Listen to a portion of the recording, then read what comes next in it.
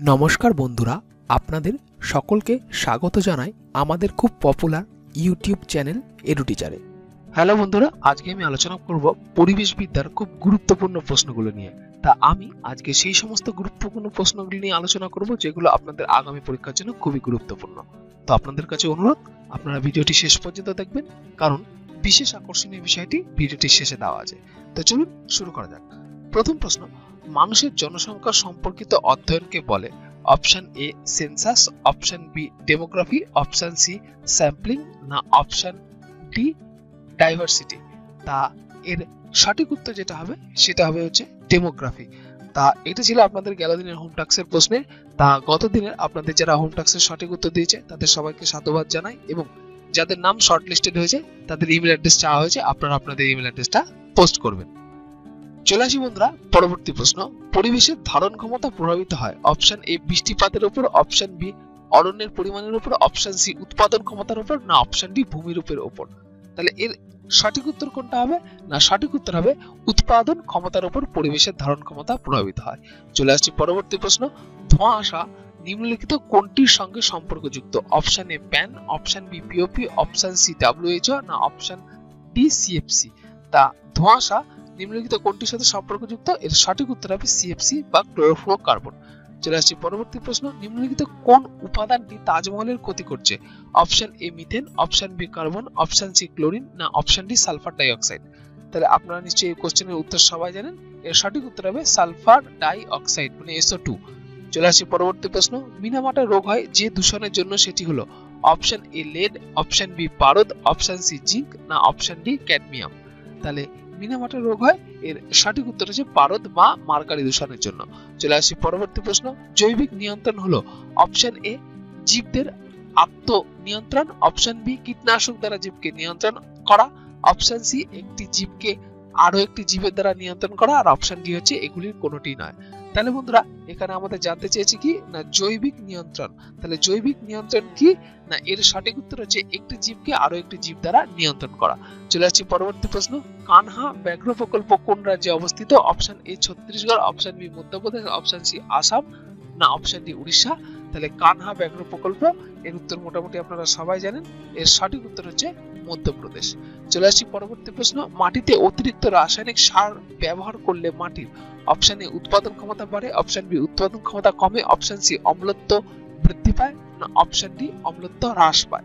তাহলে মাটিতে অতিরিক্ত যদি রাসায়নিক সার প্রয়োগ করেন, তাহলে মাটির যে পরিবর্তনটা হয়, সেটা কি?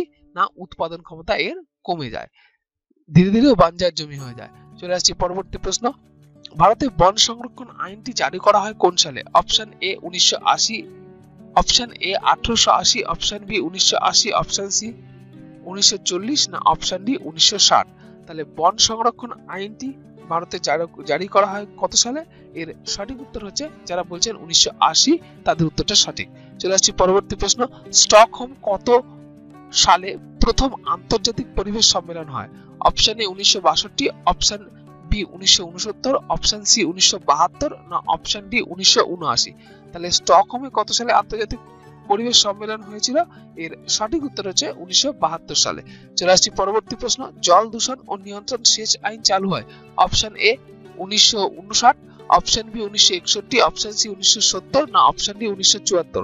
তাহলে জল দূষণ রোধ ও নিয়ন্ত্রণ সেচ আইন চালু হয় কত সালে? এর সঠিক উত্তর হচ্ছে উনিশশো চুয়াত্তর সালে। চলে আসছি পরবর্তী প্রশ্ন, ভারতের আমাদের দেশে কবে কীটনাশক বিধি চালু হয়?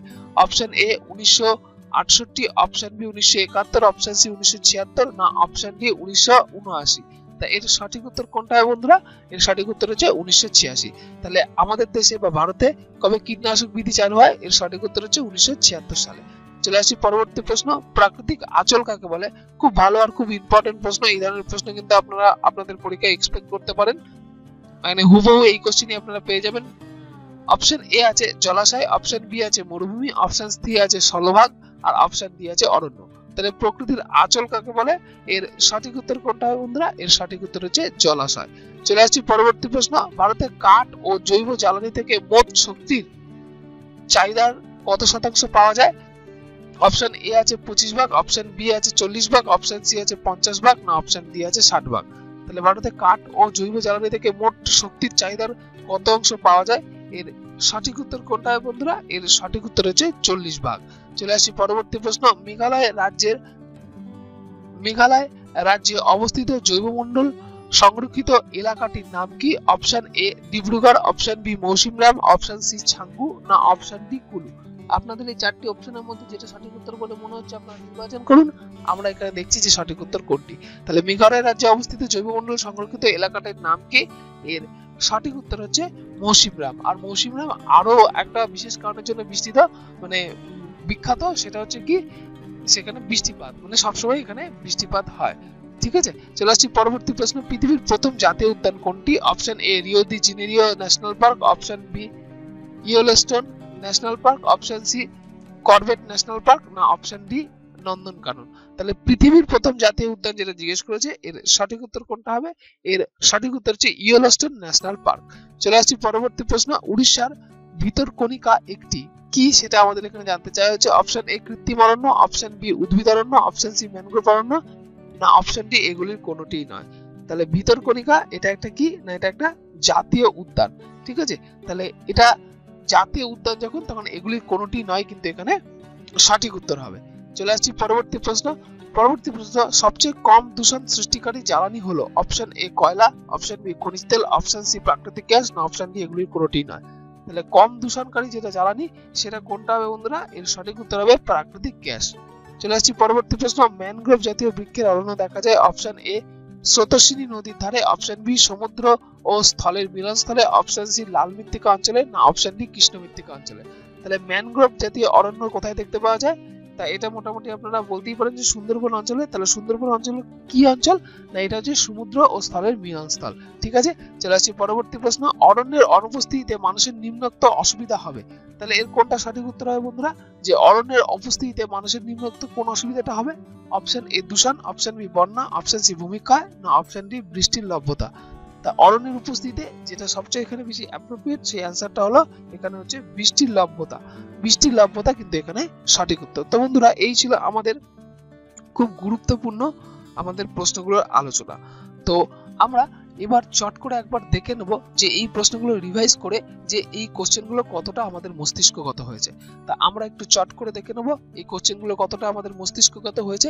কারণ আমাদের মস্তিষ্কগত যদি না হয়, তাহলে কিন্তু আমরা বুঝতে পারব না যে এই কোশ্চেনের আউটপুট যদি আপনাদের পরীক্ষার সময় আসে, তা এই কোশ্চেনগুলো আপনার সঠিক আউটপুট কিন্তু বার করতে পারবেন না।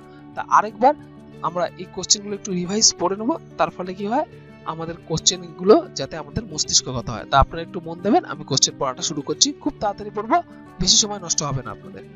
প্রথম প্রশ্ন ছিল, মানুষের জনসংখ্যা সম্পর্কিত অধ্যয়নকে বলে, এর সঠিক উত্তর হচ্ছে ডেমোগ্রাফি নেক্সট পরিবেশের ধারণা ক্ষমতা প্রভাবিত হয়। এর সঠিক উত্তর হচ্ছে উৎপাদন ক্ষমতার উপর। নেক্সট ধোঁয়াশা নিম্নলিখিত কোনটির সাথে সম্পর্কযুক্ত? এর সঠিক উত্তর হচ্ছে সিএফসি নেক্সট নিম্নলিখিত কোন উপাদানটি তাজমহল ক্ষতি করছে? এর সঠিক উত্তর হচ্ছে সালফার ডাইঅক্সাইড।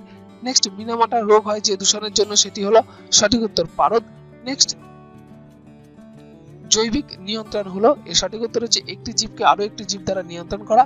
নেক্সট কানহা, ব্যাঘ্র প্রকল্প কোন রাজ্যে অবস্থিত? এর সঠিক উত্তর মধ্যপ্রদেশ। নেক্সট মাটিতে অতিরিক্ত রাসায়নিক সার ব্যবহার করলে মাটির সঠিক উত্তর উৎপাদন ক্ষমতা কমে। নেক্সট ভারতে বন সংরক্ষণ আইনটি জারি করা হয় কোন সালে? এর সঠিক উত্তর উনিশশো আশি। নেক্সট স্টকহোম কত সালে প্রথম আন্তর্জাতিক পরিবেশ সম্মেলন হয়? এর সঠিক উত্তর হচ্ছে উনিশশো বাহাত্তর। নেক্সট জলদূষণ রোধ ও নিয়ন্ত্রণ সেচ আইন চালু হয় বা চালু করা হয়। এর সঠিক উত্তর হচ্ছে উনিশশো চুয়াত্তর। আমাদের দেশে কবে কীটনাশক বিধি চালু হয়? এর সঠিক উত্তর হচ্ছে উনিশশো ছিয়াত্তর।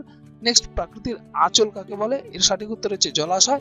নেক্সট ভারতের কাঠ ও জৈব জ্বালানি থেকে মোট শক্তির চাহিদার কত শতাংশ পাওয়া যায়? এর সঠিক উত্তর হচ্ছে চল্লিশ ভাগ। নেক্সট মেঘালয় রাজ্যে অবস্থিত জৈবমণ্ডল সংরক্ষিত এলাকাটির নাম কি? এর সঠিক উত্তর হচ্ছে মৌসিনরা নেক্সট পৃথিবীর প্রথম জাতীয় উদ্যান কোনটি?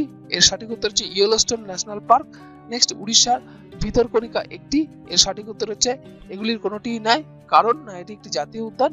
নেক্সট প্রশ্ন, সবচেয়ে কম দূষণকারী সৃষ্টি মানে দূষণ সৃষ্টিকারী জ্বালানি হলো, এর সঠিক উত্তর হচ্ছে প্রাকৃতিক গ্যাস। নেক্সট ম্যানগ্রোভ জাতীয় অরণ্য দেখতে পাওয়া যায় বা দেখা যায়, এর সঠিক উত্তর হচ্ছে সমুদ্র ও স্থলের মিলনস্থলে। নেক্সট এন্ড লাস্ট অরণ্যের অনুপস্থিতিতে মানুষের নিম্নোক্ত অসুবিধা হবে। শুধু এর সঠিক উত্তর হচ্ছে বৃষ্টির লভ্যতা। তো বন্ধুরা, এই ছিল আমাদের ইম্পর্টেন্ট কোশ্চেনগুলোর আলোচনা। তা আপনারা আশা করি এই কোশ্চেনগুলোর প্রস্তুত হয়ে গেছেন যে ভবিষ্যতে যেখানে কোশ্চেনগুলো আসুক, তাতে আপনাদের অ্যান্সার যাতে ভুল না হয়। এবার চলে এসেছি বিশেষ আকর্ষণীয় বিষয়টিতে। তা আপনাদের আজকের বিশেষ আকর্ষণীয় বিষয় হলো মক টেস্টের প্রশ্ন। তা আমি আজকে একটা মক টেস্টের প্রশ্ন করব, আপনাদের তাতে সঠিক উত্তর দিতে হবে। আর সঠিক উত্তর দিলে আপনারা পাবেন পুরস্কার। তা আজকে আপনাদের প্রশ্ন হলো, ভারতের জাতীয় সংগীত কার রচনা? Option A Rabindranath Thakur option B Nazrul Islam option C Sukumar Ray, না অপশন ডি মধুসূদন দত্ত। আবার আমি আপনাদের প্রশ্নটা বলছি, ভারতের জাতীয় সংগীত কার রচনা? Option A Rabindranath Thakur option B Nazrul Islam option C Sukumar Ray, না অপশন ডি মধুসূদন দত্ত। আপনাদের এই চারটি অপশনের মধ্যে যে উত্তরটা সঠিক বলে মনে হচ্ছে, আপনারা এক্ষুনি কমেন্ট লাইনে পোস্ট করুন। আগামী দিন ঠিক এই সময় এই প্রশ্নে যেটা সঠিক উত্তর হবে, সেটা আপনারা পেয়ে যাবেন এবং প্রথম দশজন যারা সঠিক উত্তর দেবে এবং যাদের নাম শর্টলিস্টেড হবে, তাদের পুরস্কৃত করা হবে। তো বন্ধুরা, আমাদের ভিডিওটি কেমন লাগল সেটি কমেন্ট বক্সে লিখে জানান। তাতে আমরা একটু মোটিভেশন পাবো এবং কীরকম ধরনের ভিডিও আপনাদের প্রয়োজন তা আমাদের লিখে জানান। আপনারা কমেন্ট করলে আমরা বুঝতে পারব আমাদের কাজের সার্থকতা। অজ্ঞাত কারণে যদি কোনো ভুল ত্রুটি হয়ে গিয়ে থাকে, তাহলে ক্ষমা প্রার্থনীয়। এবং আমাদের চ্যানেলটিকে লাইক সাবস্ক্রাইব এবং শেয়ার করুন, যাতে আপনার মতো অন্যান্য ভিউয়ার্সরাও উপকৃত হয়। আজ এই পর্যন্তই। সুস্থ থাকুন ভালো থাকুন। দেখা হবে আগামী নতুন আকর্ষণীয় ভিডিওতে। ধন্যবাদ।